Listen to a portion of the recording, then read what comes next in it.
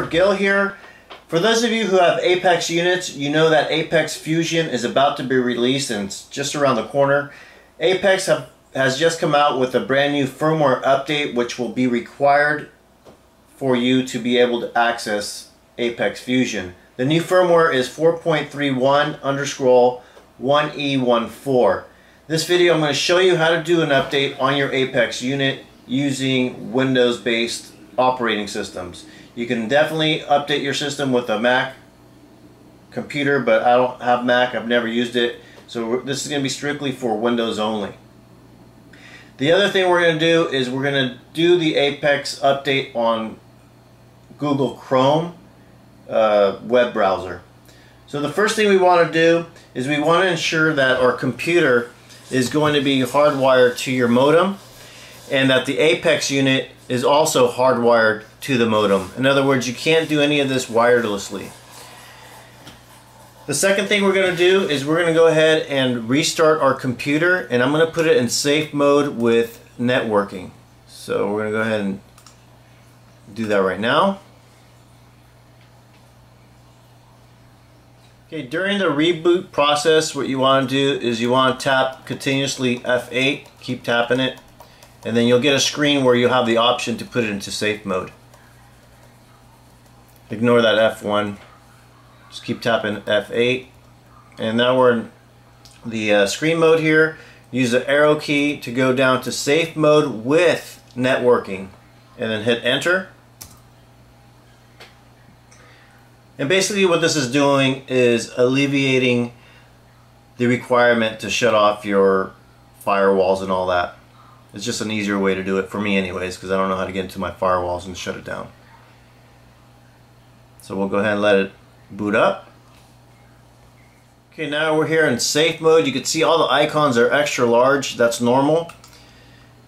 Now what I'm going to go ahead and do is open up a Chrome web browser.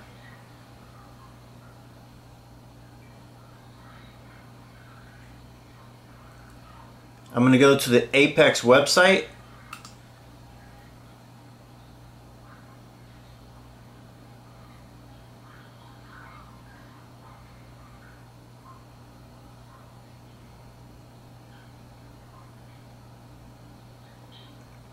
And then once on the Apex website, we're going to go to support and then click on firmware updates.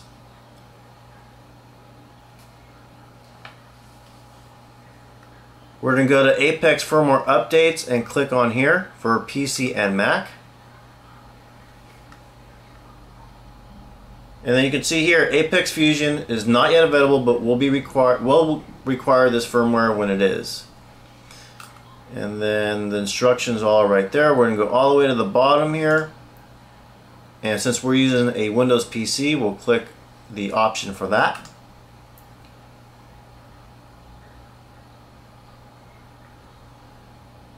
go down the corner here and open it up. We're to open up and then extract. We're to extract all.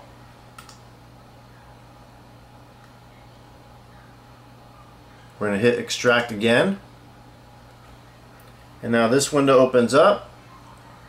We're going to open up the folder.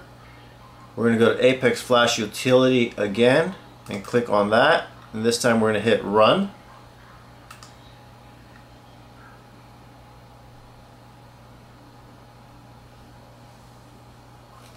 and now it recognized my Apex and it popped up the IP address for my Apex.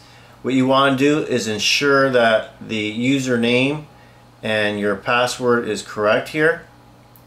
And then you're going to hit update firmware.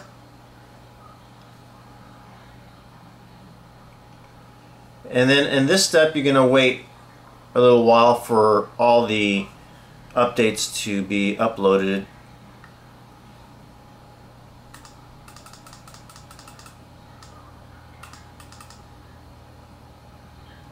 You can see there's 116 of them and we're just about there so I'm going to just scroll up and I have 116 of 116 successful so that step is complete.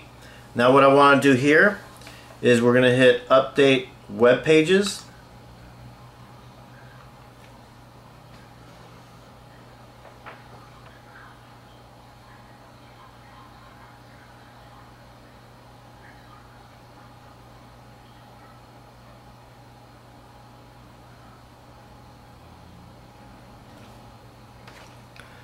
Okay, once that's done, I'm going to minimize this screen here and I'm going to go back to the Chrome web browser and I'm going to go to the right hand corner up here where the lines are at. Click the drop down menu there. We're going to go to history. We're going to click uh, clear brow browsing data and then right here in this drop down we want to make sure it's the beginning of time.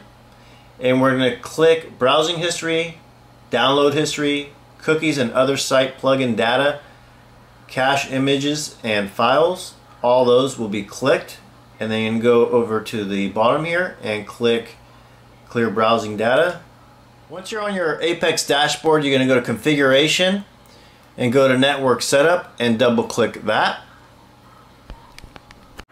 once on network settings, you'll scroll all the way down to the bottom where it says Aqua Controller version, and to the right of that, it'll show you the firmware that you're running on your Apex unit.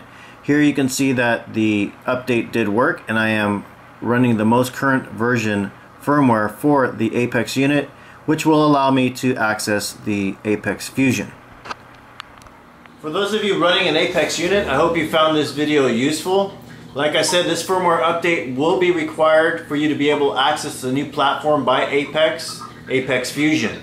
I'm particularly excited about being able to wirelessly control and remotely control my, A my AI Vega color lights from anywhere around the world with the AWM module that I'll be purchasing shortly after Apex Fusion is released. For those of you who are new to my channel, I highly recommend that you subscribe and check out my previous videos. Many of my videos are geared to those geared towards those who are thinking about getting into the hobby and for those of you who are new to the hobby. So be sure to check out my videos and my channel and subscribe. That'll conclude the video. Thank you very much for watching and have a great day.